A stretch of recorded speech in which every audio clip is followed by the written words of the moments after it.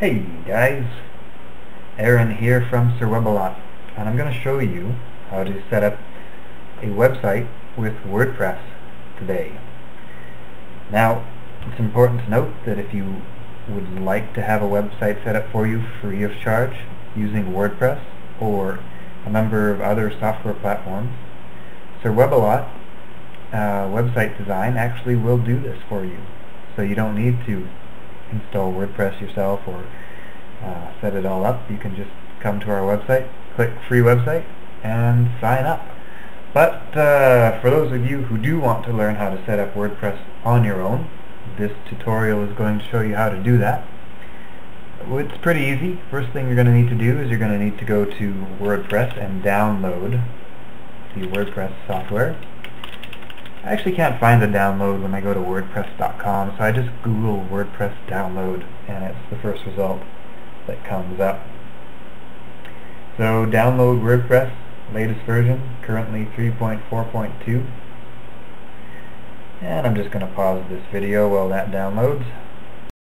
Now guys, you can either use your own FTP program to upload uh, WordPress to your website, or for those of you who are really new, you can check out net2ftp.com and this is a web-based FTP client that'll make it pretty fast and easy to upload WordPress.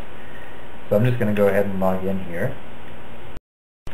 And guys, the address is net number 2 ftp.com. So I'm going to log in. And what you will want to do is click the uh, upload button right here. Now browse for a zip file and you will find your WordPress file and you will uh, upload it and what net2ftp will do is once the zip file is finished uploading, it will automatically decompress the zip file so it's ready to go.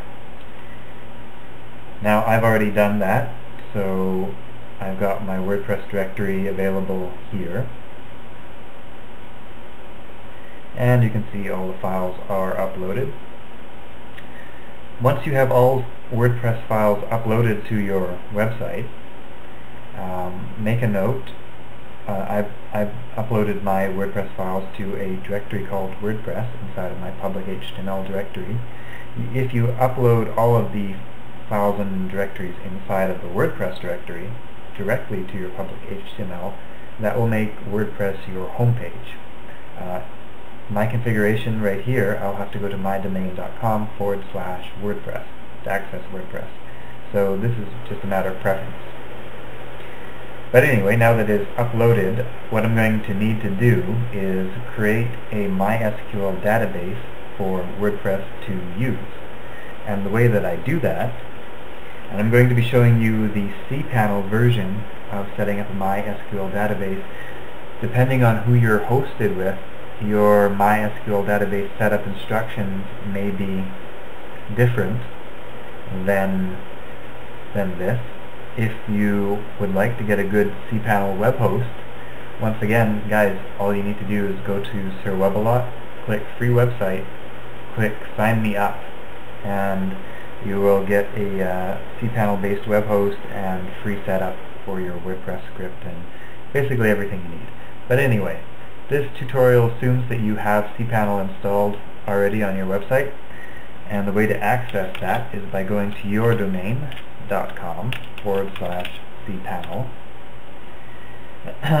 you might get an uh, er uh, error like this. It's not an issue. Just click proceed anyway, if you even get that message. Uh, log into cPanel using your FTP username and password. And scroll down until you find MySQL databases click it. Create a new database. You can call it whatever you like. Remember the name. In this name, my data. In this case, my database name is my FTP username uh, underscore and then the name that I just typed in, which was WordPress. I need to set up a MySQL user and then I need to give the user a password and then I click create user and then I click go back. Now keep in mind here that my user is uh, my FTP username and then the name that I just typed in. The name I just typed in was admin, but my full username is uh, romsvon underscore admin. This is going to be important later, so remember this. You'll be able to check back on it, but just remember that this is important. Now, the last step here is we want to add the user that we just created, admin, to the database that we just created, WordPress, or whatever you named it, um, and then click Add. Assign the user all privileges, make changes, and go back. Uh, now this database is entirely set up. What we're going to do is we're going to go to our domain name, and then we're going to go to our WordPress directory. In this case, for me, it's WordPress. If you uploaded it to a different directory, go to that directory. If you uploaded WordPress to be your home page, then just go to your domain.com. WordPress installation is going to be prompted. You're going to click create a configuration file. You're going to click let's go and you're going to give WordPress the database name which as I just told you was the name that you chose, WordPress, uh, prefixed by your FTP username. So you can just copy and paste over. In this case it's romsvon underscore WordPress. Database username. Uh, again, come back to cPanel, copy and paste if you like, or type it in.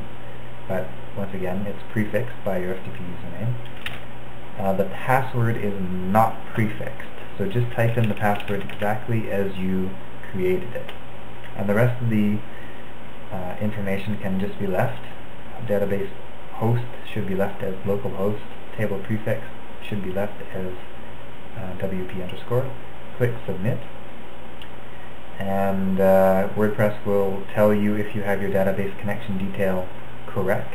And in this case I do. Click run the install. And that's it. The install happens pretty fast. Um, now WordPress is going to ask you for some of your site information. And I'm just going to give it that information.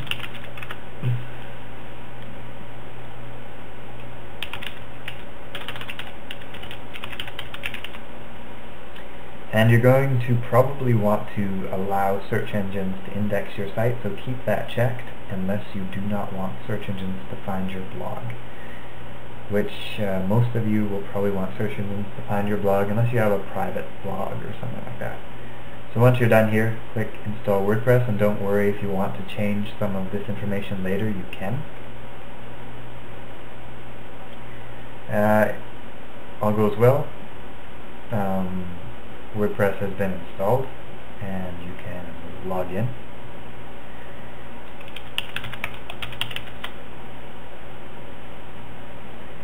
And WordPress is uh, now installed on your website. You will first be greeted by the admin control panel where you can uh, basically get started using WordPress. If you want to see your website homepage, uh, mouse over your uh, website name and click visit website and WordPress shows your default installation um, it's put a sample blog post here called Hello World. And it's got a default template set up. Now speaking of templates, you can choose a new template by going back to the admin panel and go to the Appearance tab, go to Themes, and click Install Themes up here and I'm going to search for every available theme just by searching with no search parameters and it will bring up a list of all sorts of different themes which are available. Choose the one you like and click install now. WordPress will download the theme and then to activate the theme just click activate. The theme will activate and if you go back to your website and refresh the page you will see the new theme in place. Um, to create a new blog post, and I'm going to switch back to the original theme just because it's actually a little bit clearer than this new theme that I downloaded. Um, to create a new blog post, go to Posts and go to Add New. Type in the name for your post, Hello World, and uh, type in the content of your post. Yada, yada, yada. When you're done with your content, you'll click Publish. Really quick, if you want to uh, insert an image, scroll down a little bit until you see the featured image and set featured image link. You can click that and from here you can drag and drop or uh, you can browse to, to find the file to upload. I'm just going to upload a couple of files so you can see how this works.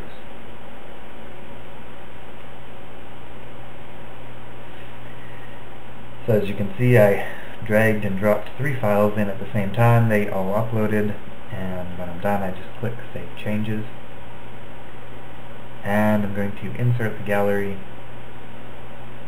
underneath the text that I've written so far and click Publish to make this post active. If I go to my website and refresh, I will see my new post and the image gallery that I embedded. which looks something like this. Um, another thing up here at the top, so what I just added was called a post. Posts are here. Uh, if I want to add a page, like they have up here, what I would do is I would go to Pages, and I would go to add new. And I would give my page a, name uh, example hi. And then when I'm done creating my page I will click publish. Before I do that I'm going to show you guys uh, an important thing it's uh, the way that your site gets indexed by search engines, and it's kind of kind of important to do this. Uh, when you're adding a post or a new page, you'll see this link up here called Change Permalinks. And I'm going to click that. And you get to choose what kind of permalink you would like to use. I favor this one down here, which just uses the name of the post itself but you can choose whatever you like. I find this one the most aesthetically pleasing. You should do this uh, at the beginning. Choose the type of URL that you like, save it, and then you can continue on adding your posts and pages. So I just published that page, and if I go back to my WordPress site, I will see that page now available in my header. And that's how I add a new page. Um, there is a lot more to know and there's a lot more that you can do with your WordPress website but I am not going to be the one who shows you or tells you how to do that. There are a lot of tutorials available on the WordPress website and there will be more tutorials on YouTube. This, however, will get you started. So, yeah, guys, I hope you've enjoyed this tutorial. If any of this seems like more than you want to try to figure out on your own or follow along with, once again, go to sirwebelot.com and uh, all you need to do is click their free hosting button and they will set up everything for you. So it's all free. Just check it out if you're interested. Thanks guys, hope you enjoyed the video and uh, hopefully have more, more to come soon.